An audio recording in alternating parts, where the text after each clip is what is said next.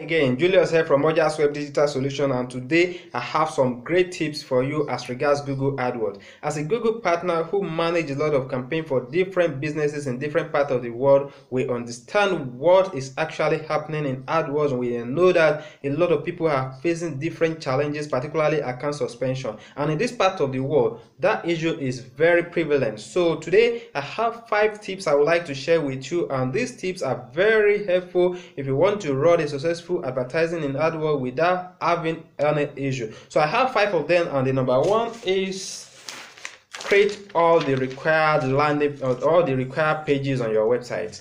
So if you're running adverts on Google, it is necessary for you to have all the pages available, and one of the some of the pages are privacy policy and disclaimer pages. So these two pages are very important because Google actually want to see that your website complies with their policy and that all the information on your website are very transparent to the users. So when you're creating a landing page for your AdWords campaign, it is necessary for you to have all these pages available. Let your landing page has a link to your privacy policies and disclaimer pages so that user when they come to your website they will be able to read the privacy policy and the disclaimer on your website. So this particularly is not only helpful for you to run adverts on Google alone, it's also pro protecting your business from any issue that might arise as a result of dispute from clients. So the number two I have is for sensitive products, particularly adult related products, for sensitive products such as adult products, use illustrated images. This is very important because I know a lot of people in Nigeria run adverts on adult related products, sexual sexual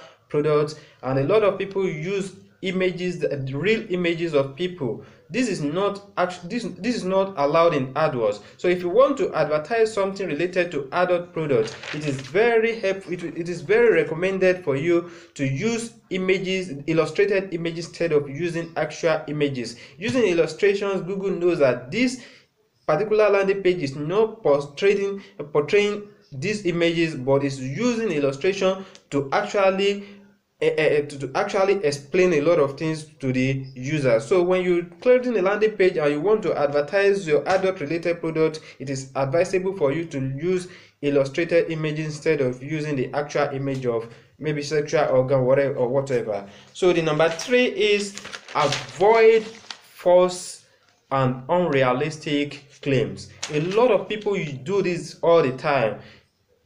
So some claims are unrealistic. We all know about it and if you are advertising some product and you're using these types of claims these unrealistic claims google definitely know that these claims are unrealistic and they will clap down on you so instead of using unrealistic claim it is better for you to have all your all, all the information on your landing page very transparent so that users when they read your landing page they understand what your landing page is all about and what what what your product is not all about. So having false information or, or, unrealistic claims on your on your landing page will definitely lead to account suspension or disapproval. So it is better for you to have a landing page that does not have unrealistic claim because Google hates it a lot and it's one of the egregious policies violations when you have it on your landing page. And the number four I have on my list is avoid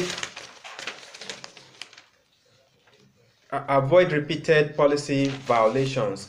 The policy violations in AdWords is very common, especially in Nigeria. And when you're trying to advertise on Google and you keep violating the policy, there's a time when the violation exceeded the limit your account will be suspended. So if you want to maintain your account, you want to do without suspension, it is necessary for you to avoid repeated violation. And once your account violate Google's policy, before you go ahead and resubmit your campaign, try to rectify all the issues pointed out in the violation. If the landing page is having issue, maybe due to policy violation, maybe due to uh, the, the false claims, uh, landing page absence of policy or disclaimer pages it is necessary for you to get this fixed before you resubmit your campaign. Otherwise your ads will be disapproved again. And when you keep violating the policy again and again your account will definitely be suspended. And the last one on the list is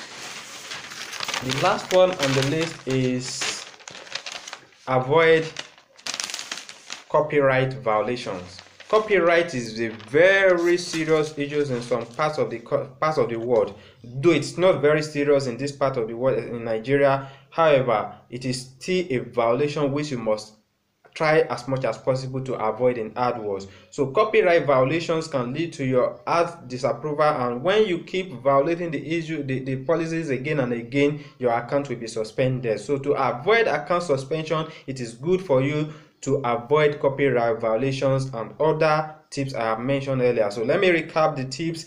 Avoid copyright violations. Create all the necessary line uh, the, all the necessary pages on your landing page. Avoid false claims and declaration.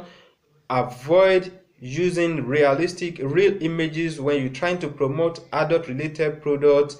And make sure that your landing page has all the information so when you have all these things in place your AdWords account will be held and healthy and you'll be able to run adverts on Google AdWords without any issue. I hope this information will be helpful for you to create a good landing page and to run advertisement on Google without account suspension. Thanks again for watching this video and watch out for our next video. Do, do endeavor to subscribe to our channel or visit our website if you need to know any, anything about Ojas Web Digital Solution. Thanks you again and bye for now.